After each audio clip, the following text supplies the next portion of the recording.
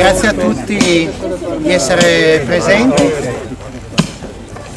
quello un vero piccone! Abbiamo, siamo contenti di vederci numerosi. Abbiamo deciso quest'anno come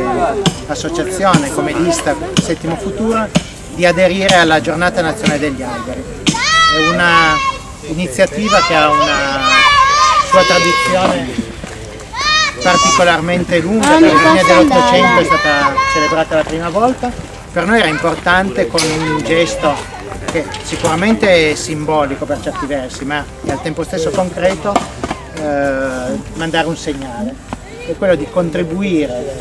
eh, in qualche modo all'attenzione alle tematiche ambientali che sono particolarmente care al nostro gruppo. Abbiamo scelto il leccio per vari motivi, perché è una pianta che sì, considerata autoctona, ma tendenzialmente vive in climi anche un po' più caldi e questo per dare un, anche un segnale di attenzione al, alle problematiche di innalzamento della, della, temperatura, per cui ci aiuterà a riflettere. Una pianta che rimane sempre verde, per cui eh, un, piccolo contributo alla eh, diminuzione dell'inquinamento lo dà in tutte le stagioni, anche in quella invernale, eh, e poi ha un significato che c'è caro perché è la pianta, anche se nel libro, in, nel Barone Rampante di Italo Calvino lo chiama Elce, ma è Leccio a tutti gli effetti, ha una, una sua importanza culturale, perché l'albero cui il Barone Rampante sale la prima volta per poi passare tutta la vita sugli alberi. E nel Barone Rampante abbiamo trovato anche una bella citazione in cui ci riconosciamo particolarmente. Questo,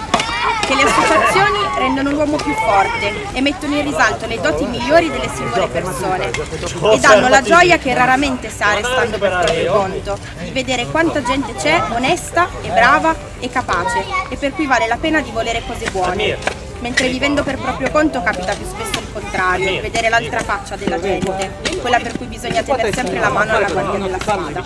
è una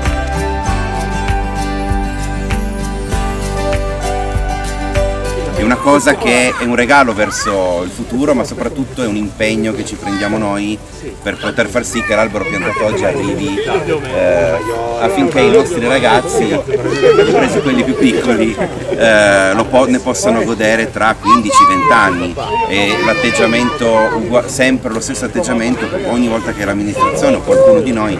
eh, pianta un albero. A livello di amministrazione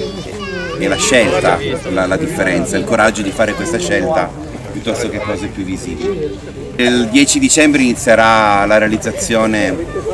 della riforestazione di due aree molto grosse di Settimo, sono circa